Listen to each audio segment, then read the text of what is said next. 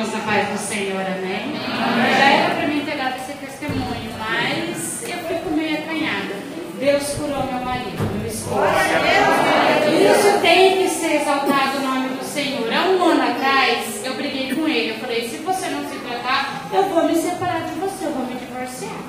Porque viúva é quem vai, não é quem fica. Mas eu quero um esposo sadio do meu lado.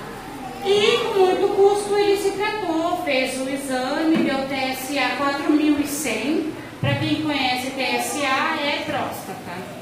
E ele tem 40 anos. Eu levei no médico, falei, ó, tá assim, assim, assim.